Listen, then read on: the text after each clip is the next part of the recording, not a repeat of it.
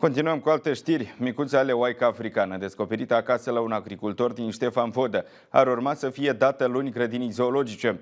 După ce în spațiul public au apărut imagini cu animalul care se plimba nestingherit prin pădure, șeful Inspectoratului pentru Protecția Mediului s-a autosesizat și a declarat că bărbatul trebuie să predea animalul celor de la zoo, având în vedere că îngrijirea unui mamifer sălbatic în condiții domestice este interzisă la noi în țară prin lege.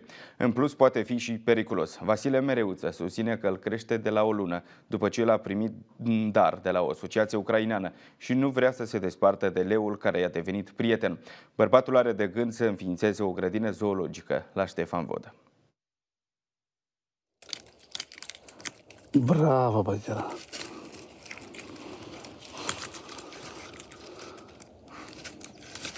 Ce? Ce?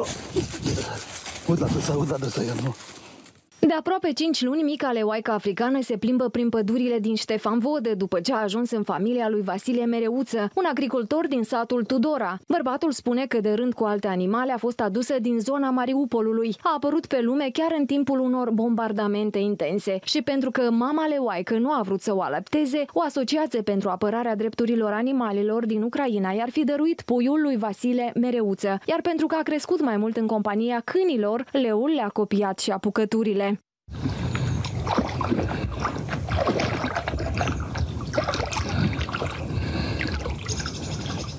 Bagira? Acum unde se află leul? Se află acolo la gospodărie, trăiește în cameră cu toate condițiile. Leu stă cu fic mea aparte, pentru că nu stă cu mine, că el e, leoaica e tare, mă iubesc pe mine. E parcă când am, când am salvat, de pare eu văzut la mine, de la mine în braț, de la spaima și care, de la bubuituri. Că ea acolo stă cu, cu psișle și leoaica așa de psișle împreună. Bărbatul spune că deocamdată animalul nu a manifestat agresivitate, mai ales că o crește de când avea o lună, iar o cățea de rasă husky a alăptat-o când era mai mică. În casă este tratat exact ca un animal de companie domestic.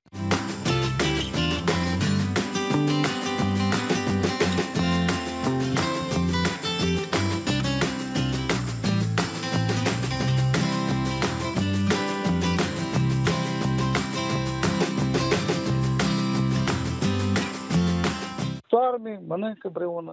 Nu vă temeți că o să muște? Cine să muște, doamne?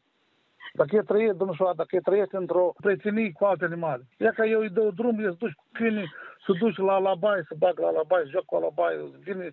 Ei în altă atmosferă trăiesc. Bărbatul ne-a declarat că leul este vaccinat și are toate actele în regulă. Mai mult, este la evidența unui medic veterinar de la grădina zoologică din Chișinău, urmând ca până pe 21 ianuarie să fie înregistrat în Republica Moldova. Un filmuleț cu animalul a apărut pe rețelele sociale, a încins spiritele în spațiul public. Șeful Inspectoratului pentru Protecția Mediului s-a autosesizat și ne-a declarat că lui Vasile Mereuță i s-a întocmit proces verbal și că luni va fi obligat să dea leul grădinii zoologice, având în vedere că îngrijirea unui animal sălbatic acasă este interzis prin lege, spune Ion Bulmaga. Luni, conform uh, prescripțiilor obligatorii date de către inspectorii de mediu, acesta urmează a fi uh, deci, uh, predat grădinii zoologice din Chișinău, în prezența inspectorilor. La rândul său, Vasile Mereuță susține că nu are de gând să dea animalul și că îi va construi un volier acasă, având în vedere că își dorește să înființeze o mică grădină zoologică, mai ales că e bogat în animale. Agricultorul ne-a povestit la telefon că mai are acasă 100 de câini, 15 pisici, 6 măgari aduși de la ucraineni, dar și doi cai. Bărbatul susține că animalele din Ucraina le-a primit în dar de la o asociație care nu știa ce să facă cu ele, el implicându-se ca voluntar în transportarea mai multor animale din Ucraina prin Republica Moldova în România.